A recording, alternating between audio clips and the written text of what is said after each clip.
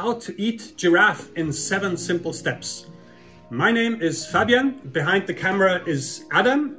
Given all the great um, benefits of giraffes, it's not surprising that they have scored millions of views on YouTube. Which of course raises the question, why should we now be eating a giraffe? Well, you'll be surprised to hear there are actually a lot of good reasons for eating giraffes. A giraffe is part of what is now commonly called charismatic megafauna. In the digital age, giraffes are of course one of the most popular um, animals of all. This is because they have similar browsing habits to us humans. They're always like up there in the trees, munching away those little leaves.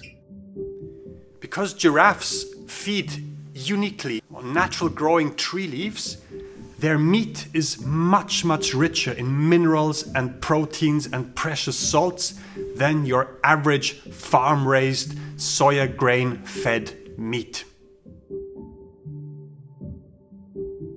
They are super well networked, like giraffes always know where the other giraffes are. They also have these really long necks, which allow them to always have a perfect overview over the African savanna but they kind of are not so into fixed relationships. They're kind of these just, yeah, they run around and kind of don't really want to commit.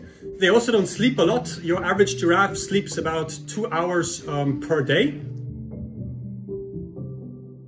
You have probably never had an animal as happy on your plate as the one which is in this box. We have obtained this giraffe from a generous friend who works at the Vienna airport and he's in charge of processing all this confiscated meat which comes in in vacuum packages from all over Africa. I don't want to make a judgment here, but that's for you, my friend, on YouTube to tell me, would you rather see that waste going into an incinerator or would you have us, rather have us here eat it and transform it into a valuable educational experience? Giraffe meat is a great climate saver. For every giraffe which is roaming around there and part of the global giraffe value chain, there is one cow less for which um, rainforests are being cut down. Tip number one, when you're eating a giraffe, be confident.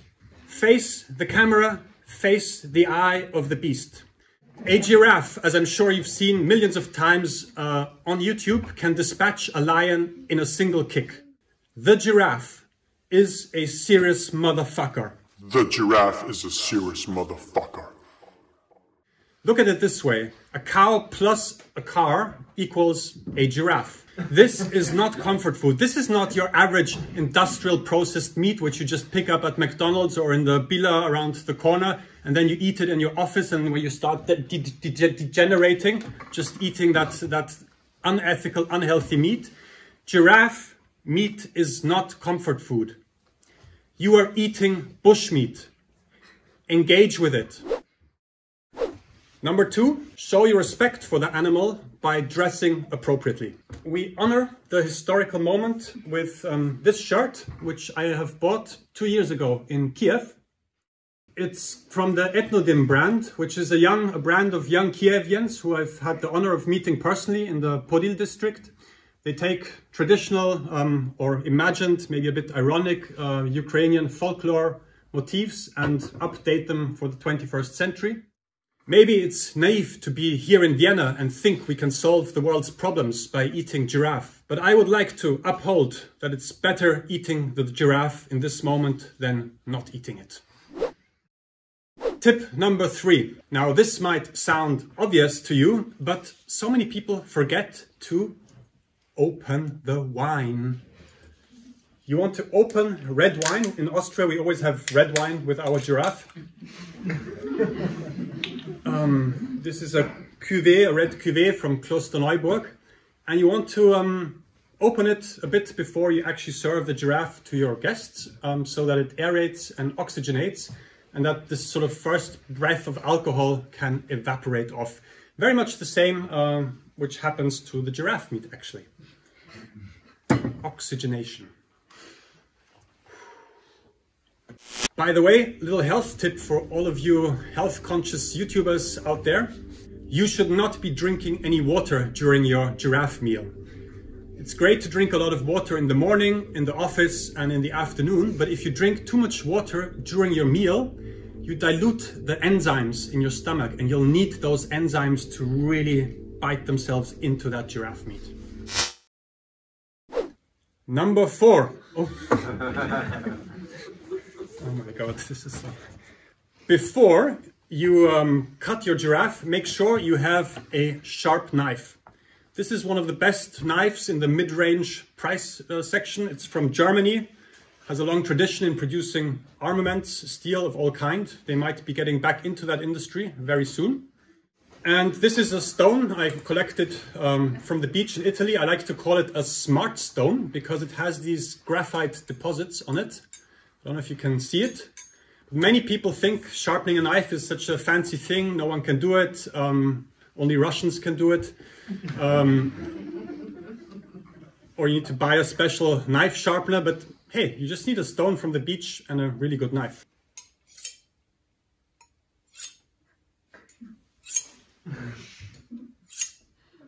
Other side.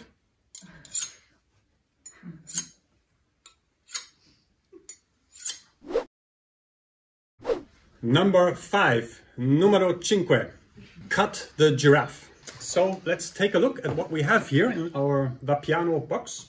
Um, yeah, there's a lot of, whew, a lot of smell coming out there, but that's like with the wine that evaporates quite quickly, this first noxious cloud of giraffeness, giraffe musk. So here it is.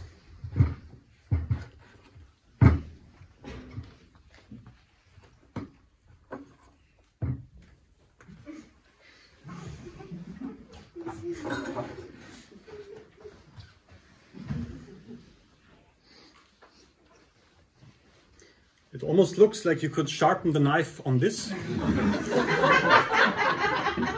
this is a cut from the front leg, front left leg, from a five-year-old animal. On that note, let's get cutting. I'll do some cuts now and Adam can cut the rest. And put your weight into the cut. Number six. While your giraffe cuts are airing, um, you want to prepare the paleo um, supplements. For example, roots. This is a horseradish root. This is totally 100% paleo. And we also have today big shout out to Smart Bread Paleo Bread, a new paleo bread from Austria. 390 grams going for 8 uh, euros and this has zero flour in it. This is a zero flour bread made out of all the kind of stuff you would still find in prehistoric times. So carrots, um, buckwheat, sunflower seeds, honey, salt, um, vinegar. I think paleo is also going to have a great geostrategic future because um, there are still 5 million tons of wheat in Ukraine at this very moment, which are unlikely to get shipped out. In all countries of the Western world, we are going to have to contemplate increasingly self-sufficiency, food autonomy, and that will probably mean eating a lot less processed food, a lot less flour. So get used to eating those roots. Horseradish, and sometimes it's, you know, it's a hard life being a YouTuber, You're shooting all day, so I like to throw out some to the birds, to the, to the ducks, to the audience. And you're just great. Great. Number seven, be sure to smell your giraffe before eating it. I smell pepper. I smell fruity notes.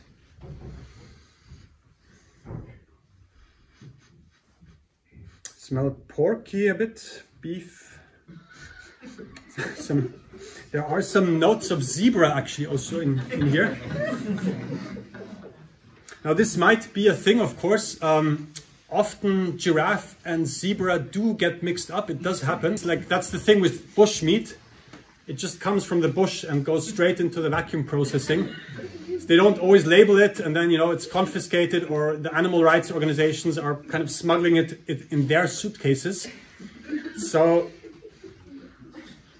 yeah, you have to decide whether this is zebra or giraffe.